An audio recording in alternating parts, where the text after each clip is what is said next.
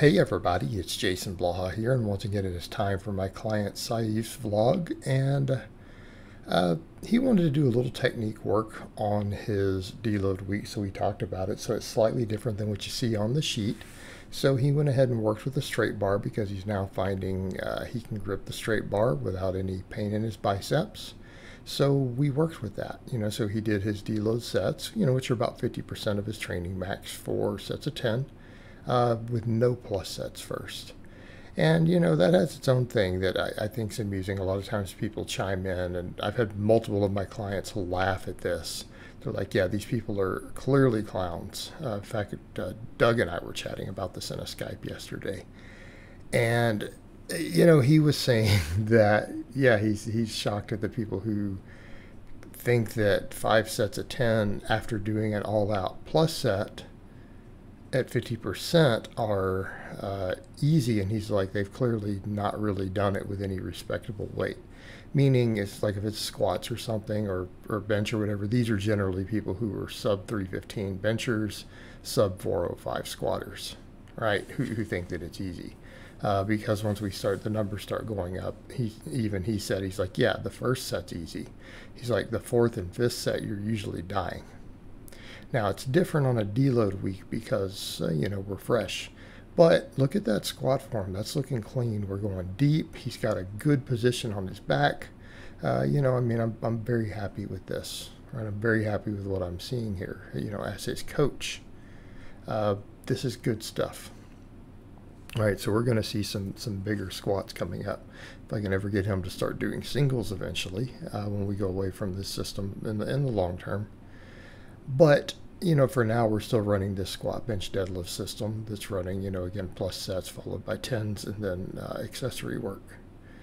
So we do that. Then he, of course, does some, some light belt squats on this uh, week also.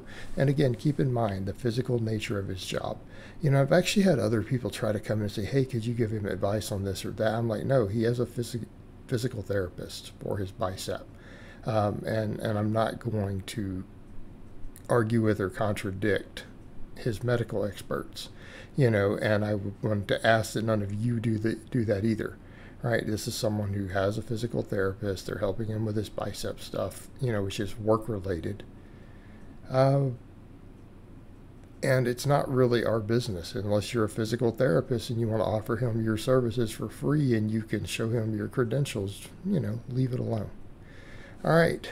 So, Benching, he also wanted to really mess with the wide grip.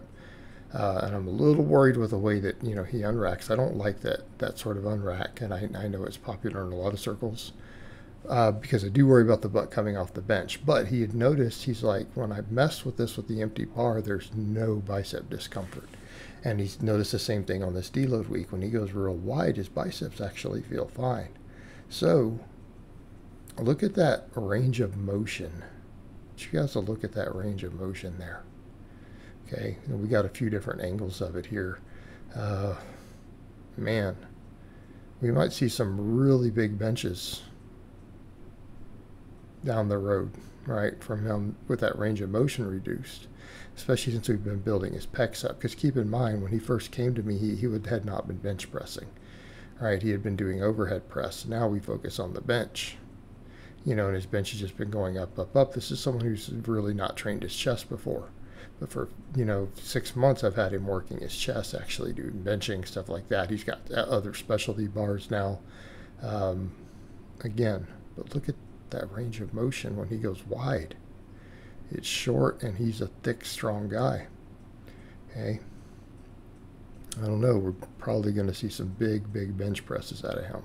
Of course, so then on bench press day, we of course, we, we do the same thing, the 5 by 10s Then we do band press downs for his tendon health and his elbows, which you guys know I'm a big fan of the press downs for those and even for tricep and lockout development.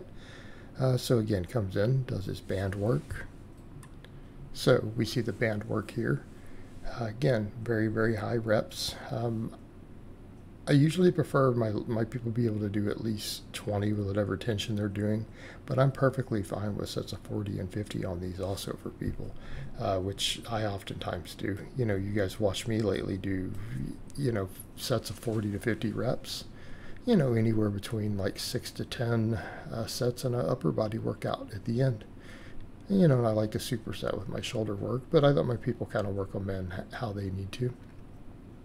All right, deadlifts, he wanted to work on technique. And one thing I pointed out to him, he says, well, I've been pulling slack out of the bar, so can I just do some, you know, some sets of five with lightweight?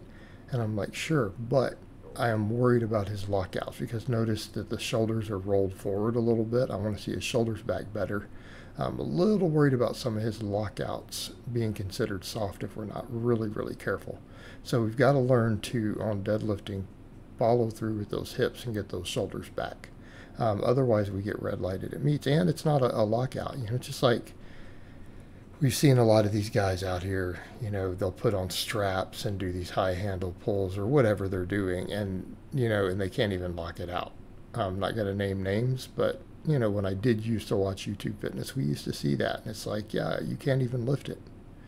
You know, because you wouldn't see them be able to lock it at the top right? Their upper back is still rolled forward, so it's not strong enough to lock the weight.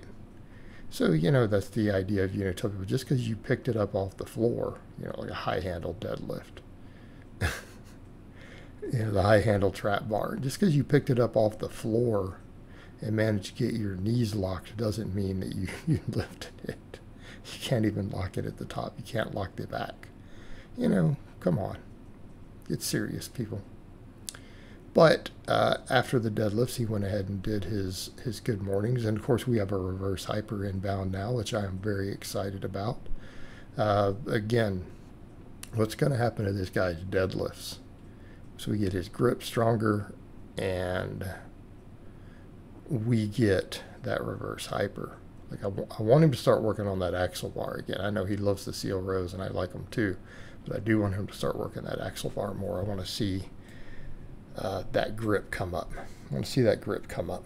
But these good mornings, good mornings and reverse hypers both, uh, those build big, big, big numbers, right?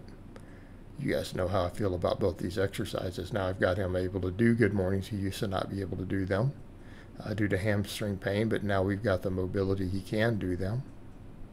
He's got a reverse hyper coming. All right, here's his bicep work, which is just high rep bands. That's all we ever do for him.